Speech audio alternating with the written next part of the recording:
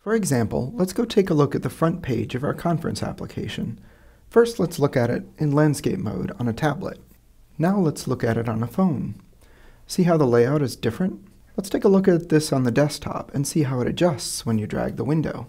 You can see how the buttons pop into two rows when the window gets too narrow to fit all four comfortably. Let's take a look at the magic that makes this happen.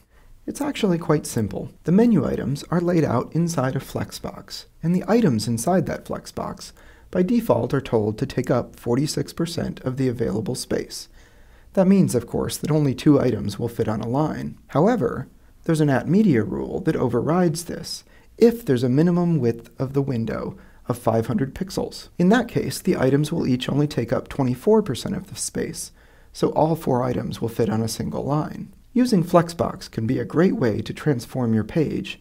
You can change flex direction or flex order to make dramatic interface changes, like the one I did in the audio recorder earlier on.